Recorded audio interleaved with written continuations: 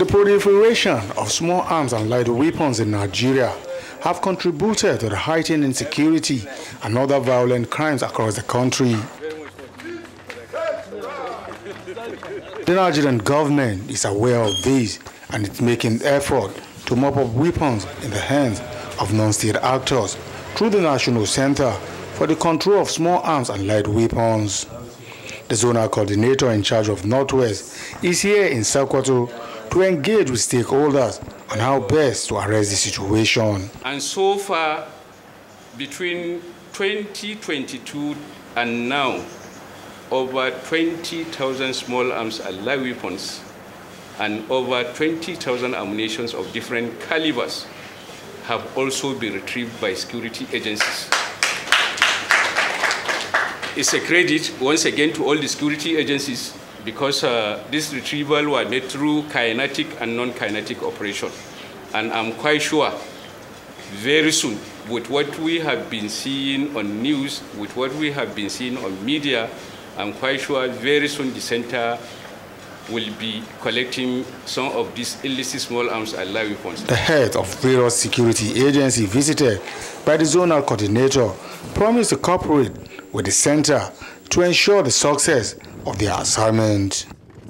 Northwest region is actually very key. If we can control the activities of these transnational criminals who bring in weapons through our porous borders and ungoverned spaces in Sokoto State, I think it will go a long way in controlling or adding value to the fight against insurgency and terrorism in our country. We assure you of our total support, total cooperation, and we are ready. Small arms and light weapons fell under the absolute prohibited list. The service has been in the forefront on the fight against the proliferation of the arms and ammunition in the country. In Sokoto State, where I believe I have much knowledge, the villagers are not sleeping with their eyes closed. And largely because there are weapons everywhere. Everywhere. Apart from the bandits, we have the kidnappers, we have the cattle rustlers. All in possession of very dangerous weapons.